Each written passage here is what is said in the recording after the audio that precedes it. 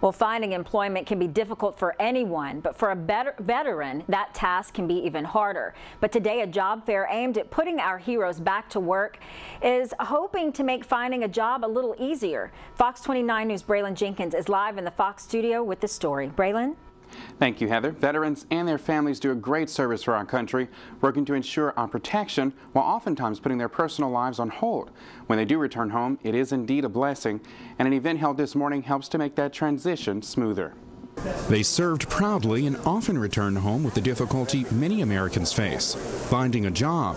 Thanks to job fairs like Hiring Our Heroes that are geared toward veterans and military spouses, the difficulty of finding a job becomes less of a burden. Fox 29 News spoke with some of the veterans attending Hiring Our Heroes. Veteran Dustin Barrio returned home only three weeks ago, and veteran Claiborne Hyatt returned this past December. Uh, it's tough going from military straight to civilian it's it's hard transition. They're helping people out. They're looking for people, you know, military, helping veterans, and we need it. Like, I didn't know what to think, but it's actually been pretty helpful. We got like a whole bag of stuff and got a few interviews, so it's actually going pretty good.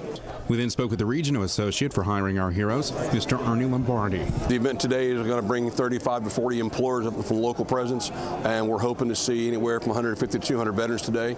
Uh, the event is very simple, uh, where these employers have jobs, and it's specifically geared for veterans and military spouses.